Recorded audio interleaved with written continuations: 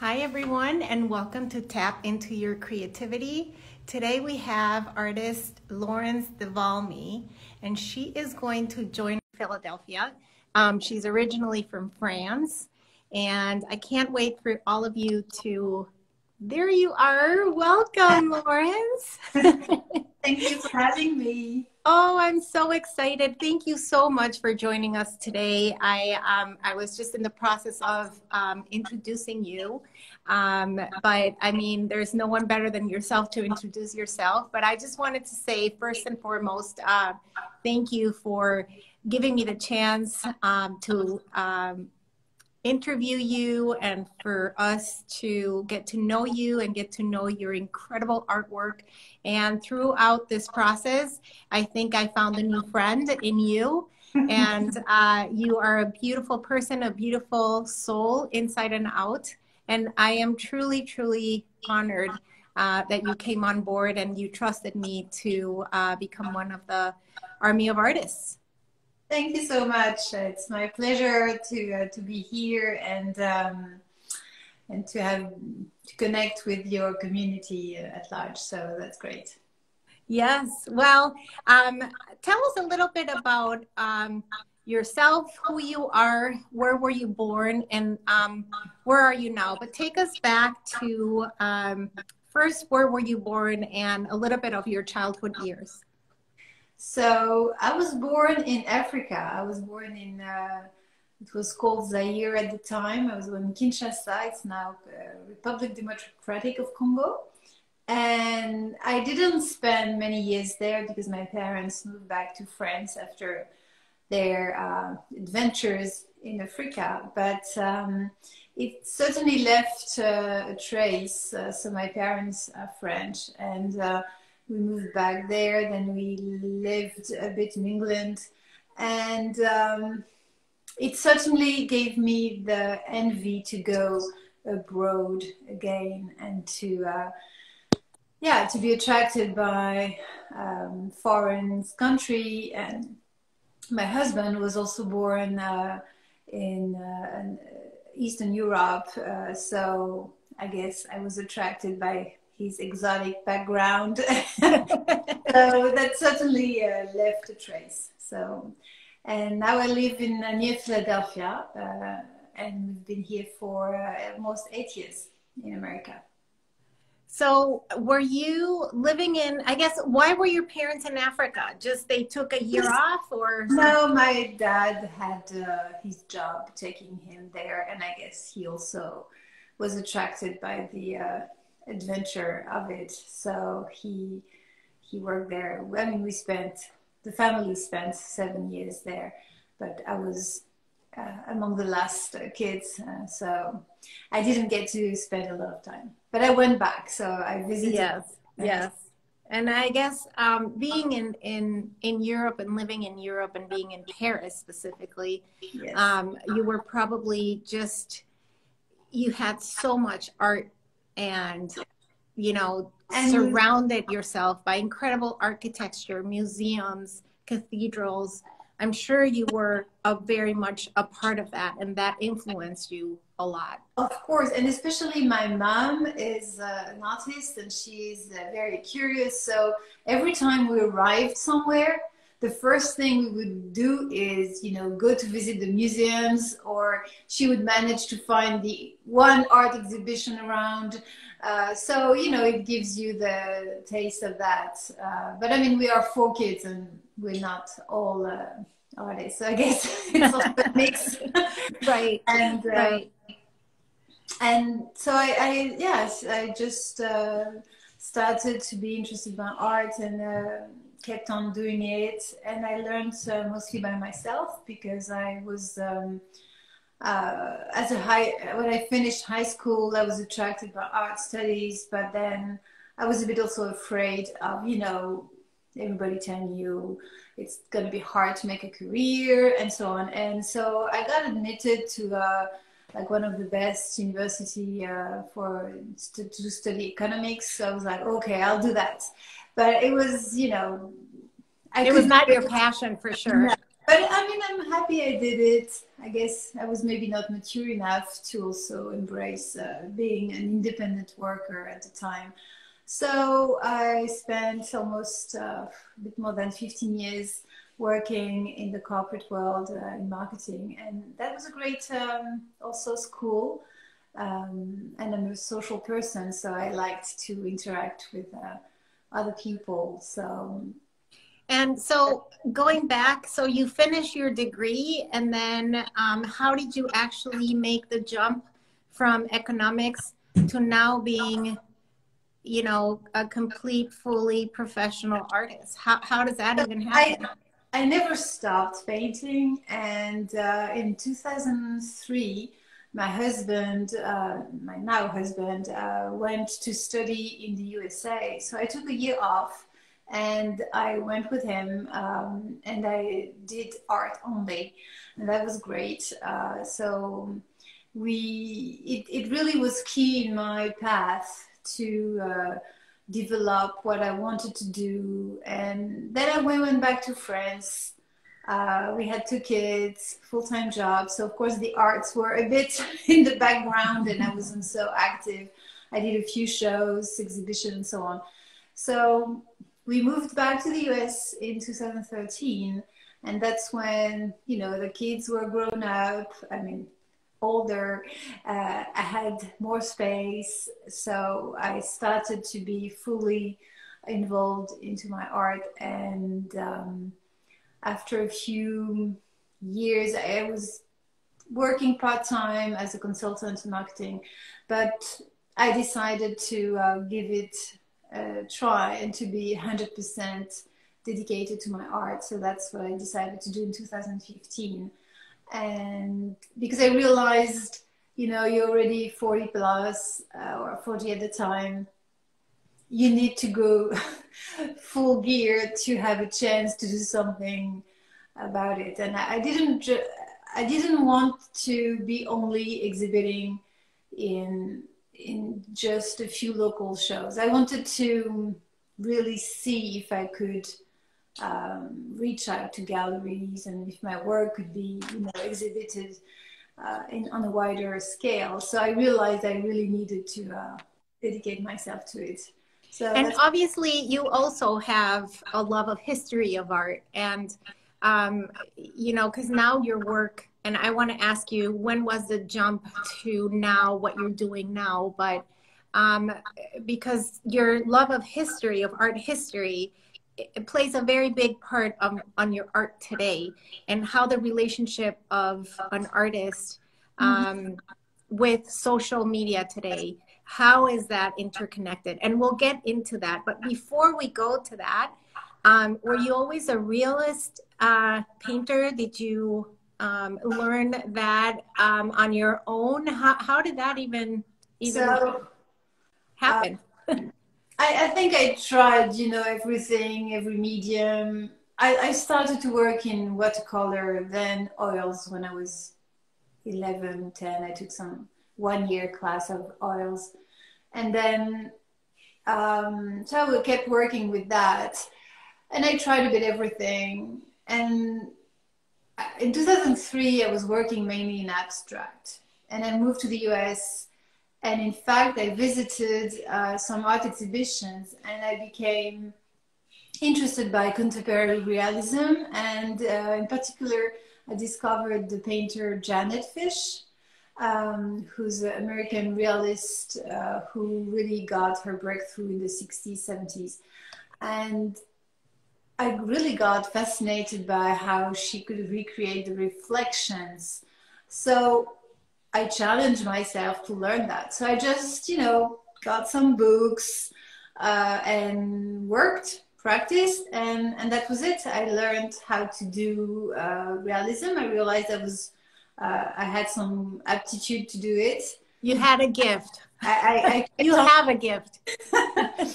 and so I, I also got, you know, I discovered photorealism and, and all that uh, movement. Um, so that was my still how I worked in for a good 10 years. Um, and when I uh, decided to start my professional career, that was what I was doing.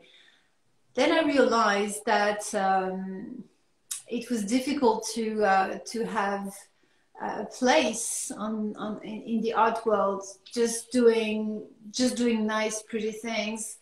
I, I want I was not satisfied, totally satisfied with my body of work because I felt it lacked uh, a message and a consistency. I was, you know, going here and there, and I realized that I, I wanted something that was really unique to me. And um, I got interested into how Instagram was used by artists. So it took me good six, eight months to to find my signature, I would say, or something that was really a body of work that would be uniquely mine.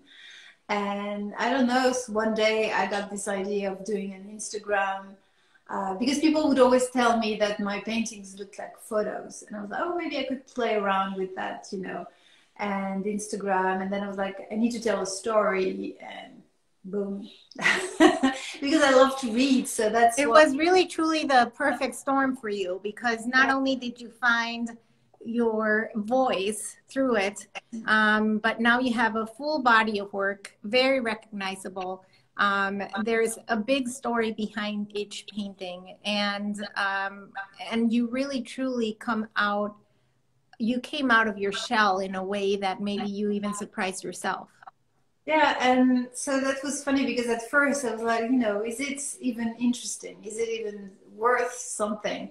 So um, I did the three first paintings and I showed them to uh, two very good friends of mine. Uh, and uh, they were very enthusiastic and very supportive. So um, Alan Gorman, who's a very good friend, uh, saw my work and told me, oh, you should apply to uh, an artist residency, which is called the SCAF. It's based in New Jersey, and he was a resident there at the time. So he kind of gave me the idea. I would never have thought that, you know, I was eligible to that. So I applied, and I, Eileen Kaminsky, who's the founder, uh, thought it was a, good project. So she gave me a residency on the spot. and three months later i was there and so it also gave me the um, you know i had three paintings and then i was like okay now i need to need to uh, to deliver on that. So it was how long was the residency for? It was three months. Okay. Uh, so it's based in jersey city and it's an amazing experience. But were you commuting back and forth or you actually lived there? No they don't have um, uh, housing. They just uh, offer you a studio space and um, and uh, you can work for uh, you have to be there a minimum of hours per week. Um, yeah. it's also- actually i think it's I, I i'm a huge fan of residencies. I've done them like five times in my life and i will continue to do them because it is something that um, there's something to say about working with other artists mm-hmm. and feeding from each other and that energy that comes from it is nothing that you can actually verbalize because it's something so internal and you grow so much and your painting grows so much um, that I think it is very important to go back and have those in in person. Not yeah. only you know now that we're you know everything is uh, via Zoom or you know doing everything electronically i hope that at some point we come we can come back and, and do those in person I know, yeah i know they have reopened i guess with some uh, measures but uh, uh, yeah it's uh, obviously more challenging these days but it will come back. Yes yes. Well i'm going to be showing some of your work. All right. Um, so we can talk about it.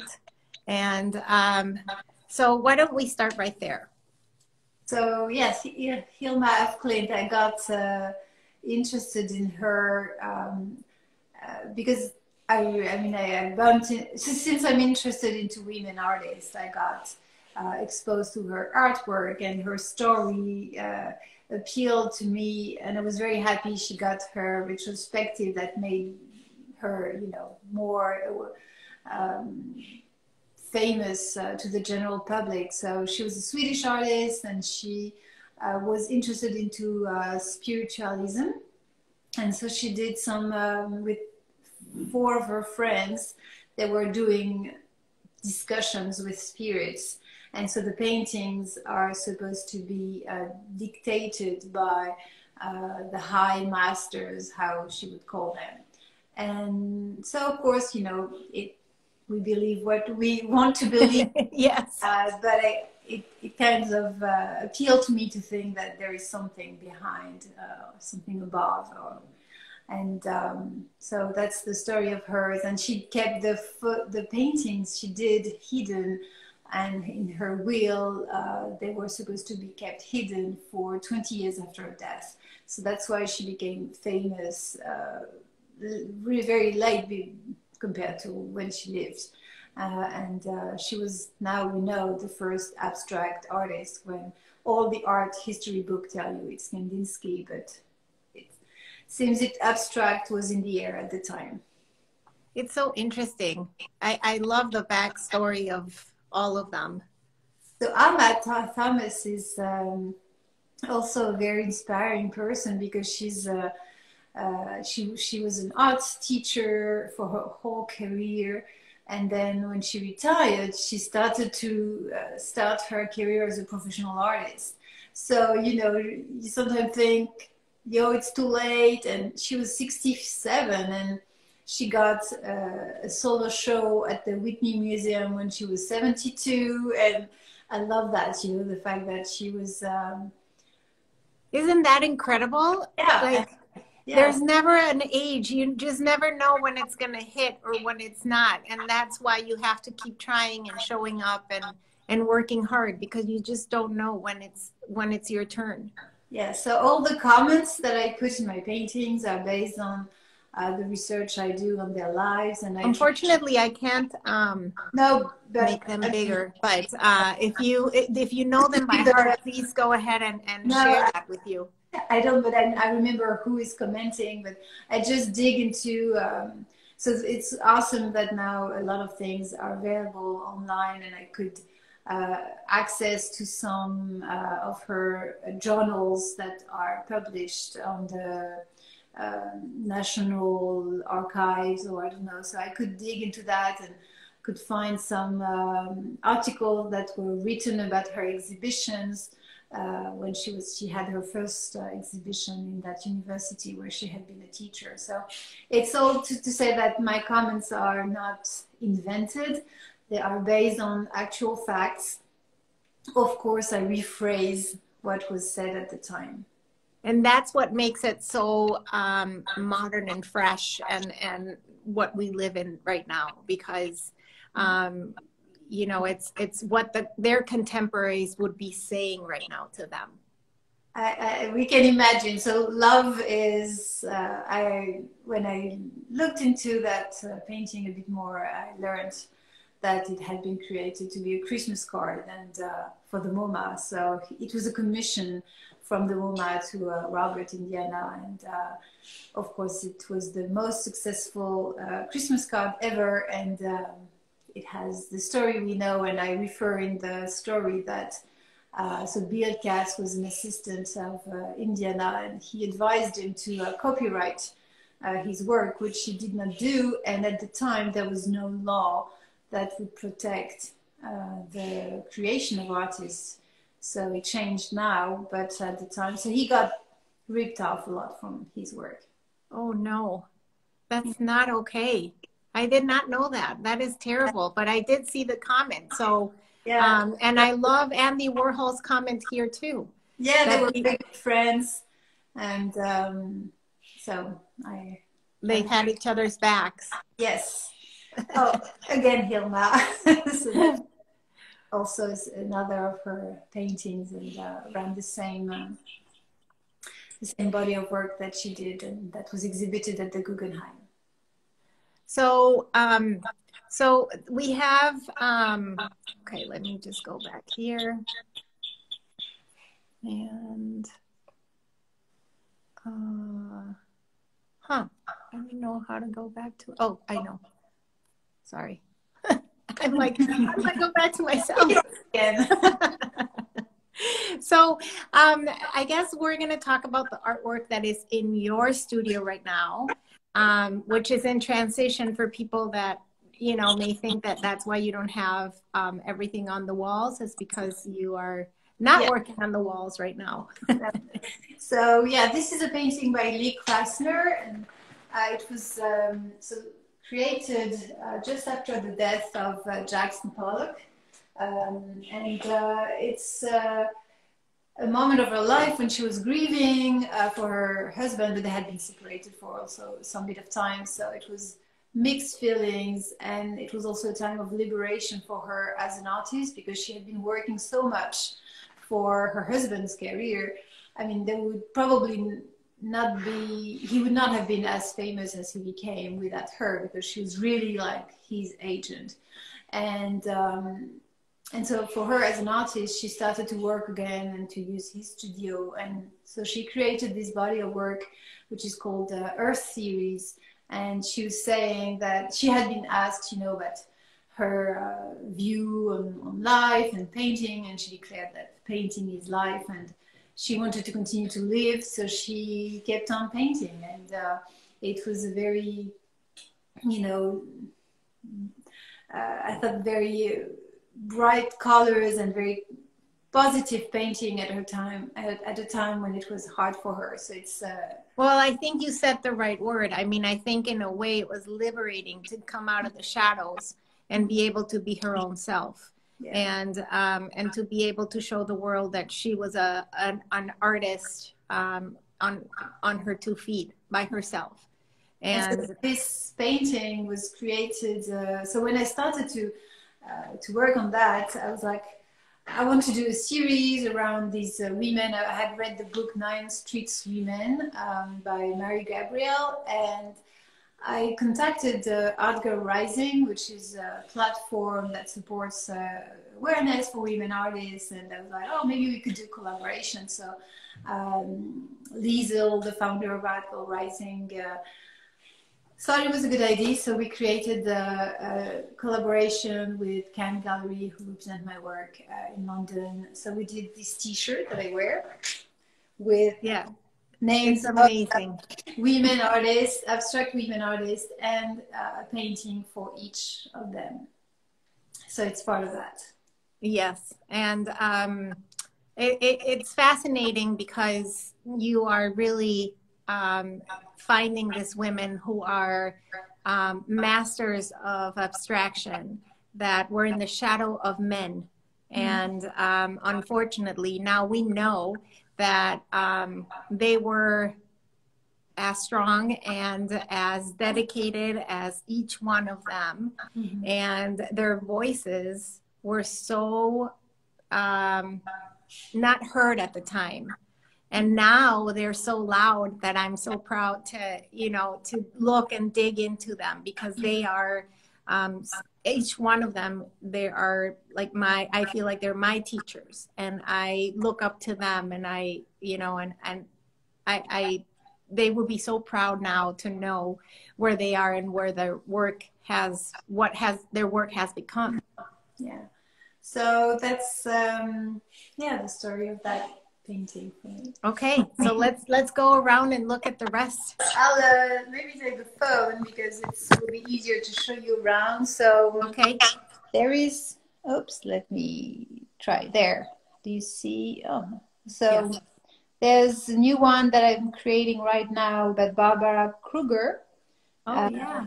So it's uh, for an exhibition for Women's International Day. Um, and here, when is that going to be uh, it's shown? It's going to be in March. Uh, okay. The dates are to. Um, I don't have the precise dates in mind. And how big are your paintings? How big are the canvases? So these are forty by thirty. Okay. But I did some smaller ones too. It depends on how you know. And so you need to go in a little closer so we can see all the details. Okay on your Vincent. I want to make um, sure you see well, but it does. I'm not sure it's.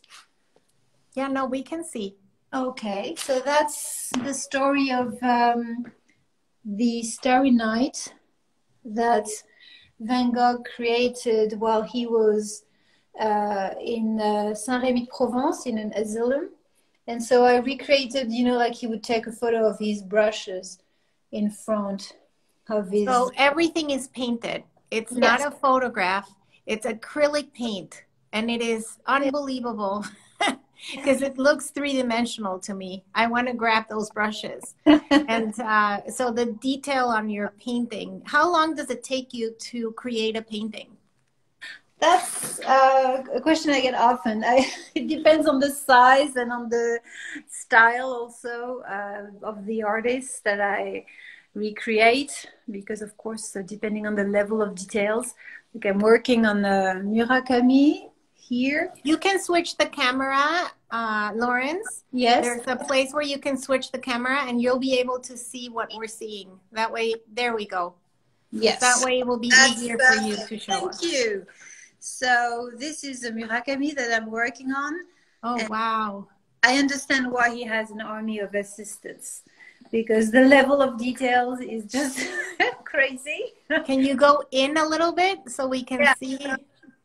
That's wow. No, work in progress. So. Yeah. And it's all acrylic on canvas, correct? Yeah, correct. So I prepare my canvas, I just, you know, tape and then I work from there. And um and I know you use the original um you have like a photographs of them and then you have them on the side so you know exactly to be able to recreate that. And then yes. depending on the angle like the one from van gogh that i would like to go back now that you know what we're seeing. Yes. Um because it's it's let me go back. it has so much detail and it looks so real and it looks like it would be something that he would take a picture of which i love.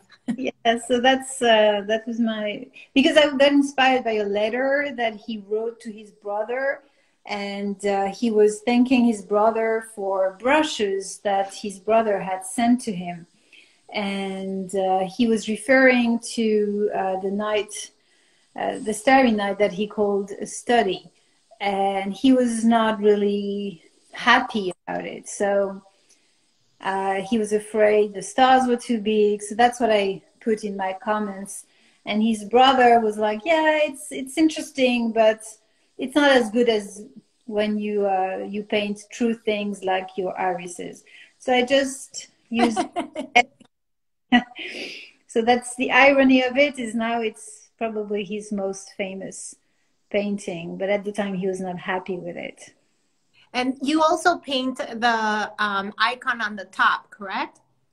Uh, no. So the text and the icon, I print them and I apply them on the canvas, and then. Oh. I, okay, I, didn't. I thought that you also painted the icon. I I knew that the text was, um, but I I wasn't sure about the icon. Mm. Well, that that makes your life a little easier, I guess.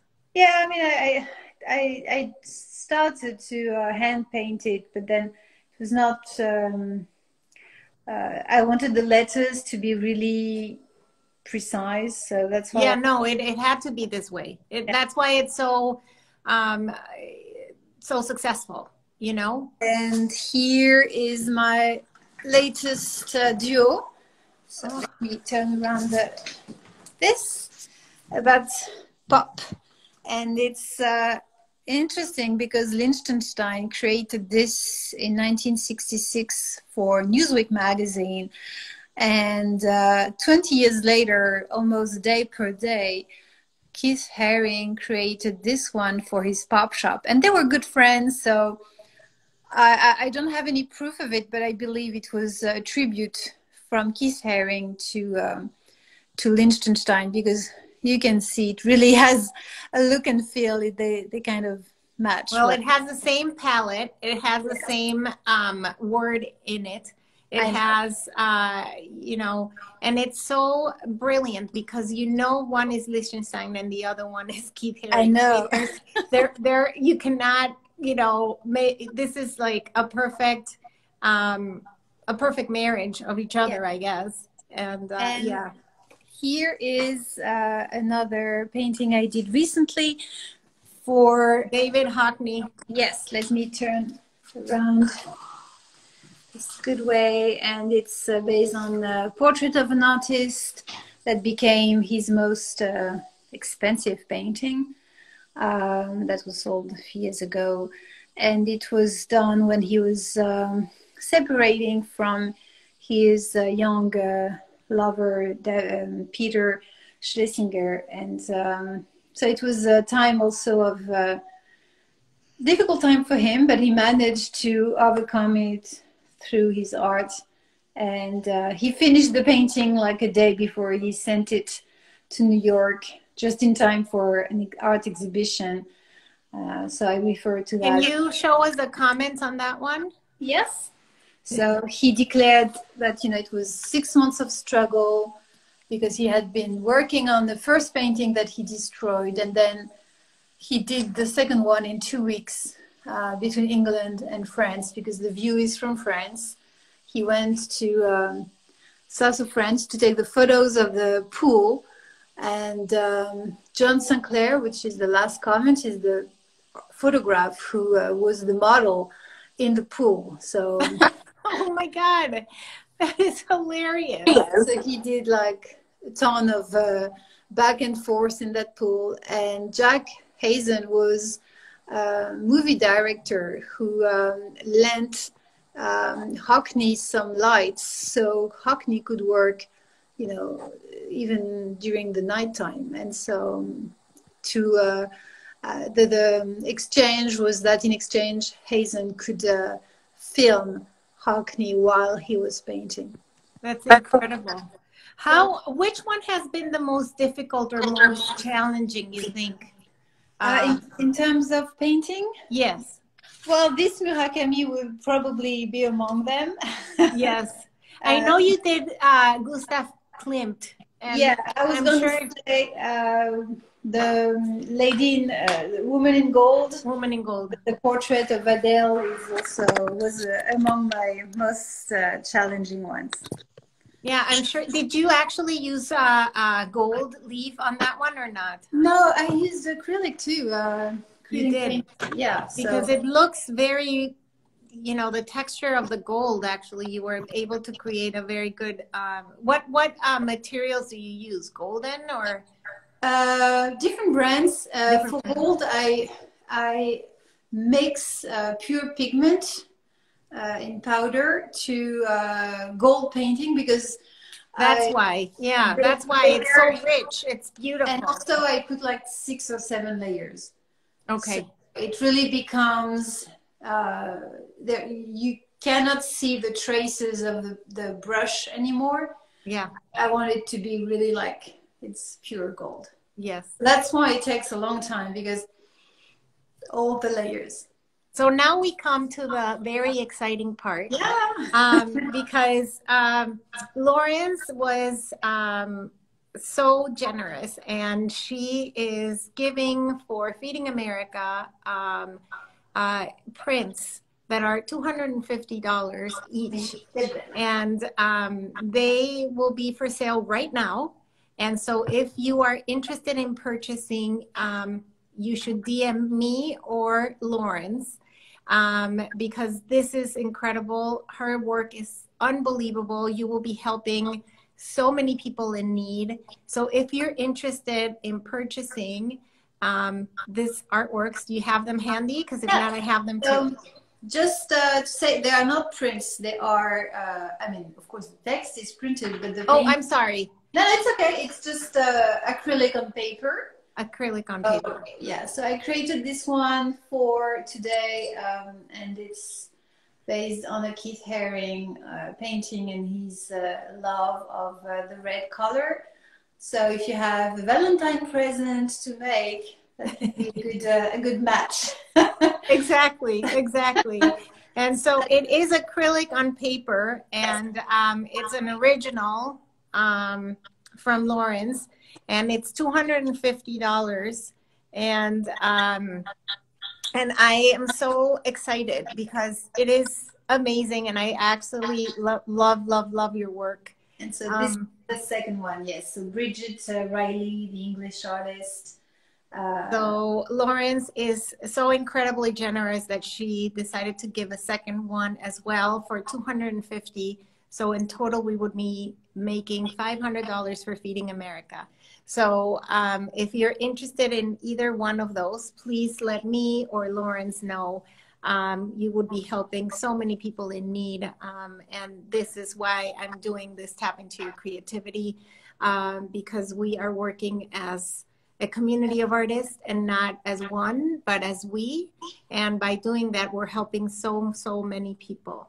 So, um, Laurence, what what is your um, do you have a favorite artist now that you've really digged in into their past? Is there anyone that grabs you more?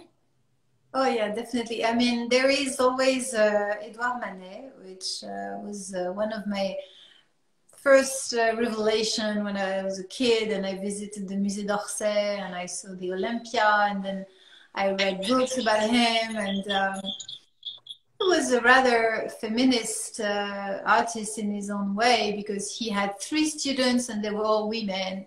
He always uh, described uh, the difficulties of being a woman like used by men in especially the, in the 19th century uh, so i like him as an artist and as a person um, uh, we know now that he married uh, his wife who already had a kid uh, and it is likely that the kid was not his but he was uh, the son of his own father.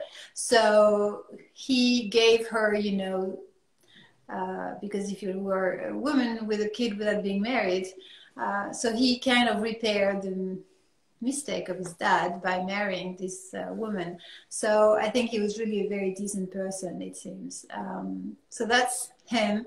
And uh, David Hockney is certainly one of my go-to artists. I love him as a artist and also as a person. He's so, uh, you know, if I if I feel down, I just have to listen to an interview of David Hockney, you you have a smile on your face. so I turn back on the comments for people to ask you questions, but I do have a question about if if you had any um, things to say to new artists or emerging artists or even established artists um, what would you say? What what has worked for you? Practice, certainly, and uh, to build uh, my career, it was through community. I mean, I when I moved here, I knew no one, and especially no one in the art world. So I started to connect with people on Facebook, Instagram, and I wasn't on social media before I moved to the US. So it's to say it was a big leap for me. And that's how I started to learn and to meet people. Uh, and, you know, one person introduced you to the other and so on. So, yeah. And, and um, one thing that we haven't talked about that was very, very cool is that uh, the gallery that you represented in New York um, they um, they grab one of your paintings for. Uh, yes, yeah, for uh, the HBO series uh, The Undoing, which got four Golden Globes nomination. I'm like, woo! I feel I'm nominated to the Golden Globe myself. Yes, you did. yes, you did. Yes, you did. So, I mean, it's incredible that they um, they wanted one i mean i'm not surprised but how cool to see one of your paintings on tv on that incredible series with nicole kidman and uh and seeing your painting in the background like yeah it's fun. it was very very cool. So um so how do you um approach galleries? Um do you like working with galleries? Would you rather be working on your own and selling on your own? What is what has worked for you? I, I love working with galleries because they are it's not like I work with galleries. I work with some persons. You know, they are very yeah. small galleries, and we have a personal relationships. So I feel like it's more a team. Uh, and um, so I was lucky in a way that all the galleries I work with, they approached me, or I was introduced. Uh, we met through common friends Uh, so you know, it, it, it built upon time. Uh, so sometimes I've been I'm asked, you know, how to approach galleries, and I'm a bit short to answer because I never really did it. Uh, it was more like through meetings with someone. Oh, I'm gonna, you know, introduce you to that person. So that's why communities is is key because it's how it uh, enabled me to build my um, my path, you know, little by little. Yes, and I, I think that's the key, what you just said, little by little. Um, you can't get so eager that you want to eat the world in one day because that's oh, yeah. just not going to happen. I mean, and you just have to be patient. When I started, it was like, it's like I'm an intern. Uh, you cannot be the CEO right away. So I, my first show was in a restaurant in New York, and I was very grateful for the opportunity to show my work and it was great to um, to learn how to to make a show, to communicate about it, and so on. And yeah, that's you know you have to, uh, to learn step by step. Yes, and I think that you know you work in in your studio in your home, so you're by yourself um, most of the time, and um, that's another great thing that by building community and and outreach and and getting to know artists uh, like minded um, you start speaking the same language. And yeah. so um, it's important to find that wherever you are because sometimes you don't have that around you and you just need to reach out so you can bounce ideas from each other you can have critiques um, uh, positive critiques from each other and really learn um, together versus being by yourself. I think that's very important. Yeah. So I'm part also of a community called Artcan, and it's an international uh, artist community, uh, originally based in London. Uh, it's a non-profit, and the goal is to uh, exactly do what you just described, and uh, I love it.